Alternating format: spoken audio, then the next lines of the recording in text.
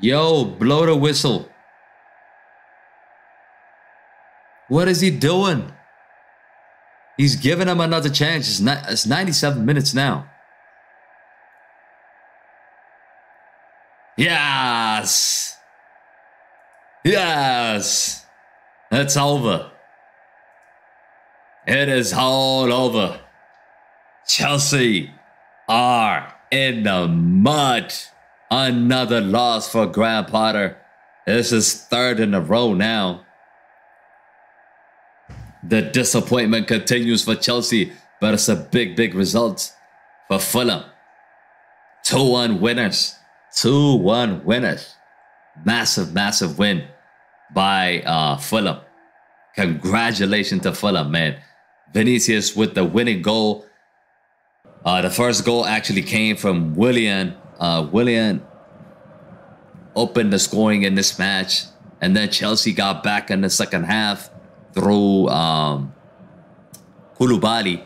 And after that, after that, Joao Felix got sent off. I mean, a silly, silly foul. Joao Felix had a very good game in this match, but a silly foul probably cost Chelsea three points today because they were looking like they were going to get the win. But when Joao Felix got sent off, the game just turned on his head. And Vinicius with the with the winner with the second goal of this game.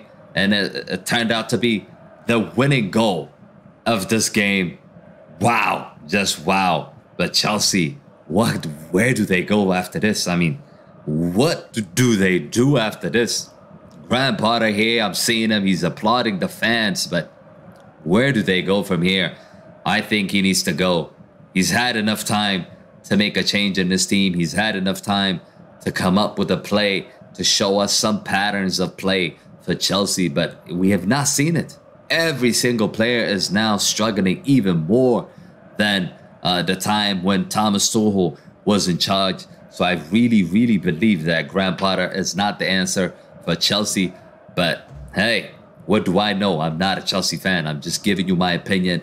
Let me know in the comment sections what you guys think about this game. Who was your man of the match?